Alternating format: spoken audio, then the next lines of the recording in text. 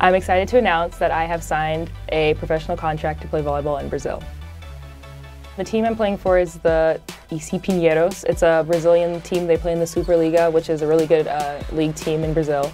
Um, they've had a good couple of years, and I'm really excited to be a part of it. Blocked by Payne.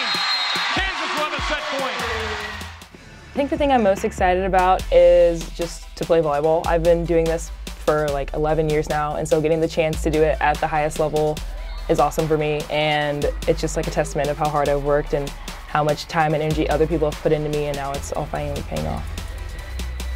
Coach B has helped me in a lot of ways. I think he has pushed me to be a better player and a better person. He always uh, says that contribute more than you consume, and so I think that's something that's going to help me in my professional career, just being able to like give more energy and give more of my time than I'm taking from others. For the legacy that we're going to leave behind as a class, I think it really just goes back to what we talked about sophomore year, which was unprecedented, and that's just like doing things that have never been done before. And so off the court, we're all going to go on and do really great things, but I think with our time that we had here, we made the most of it and made a lot of great memories.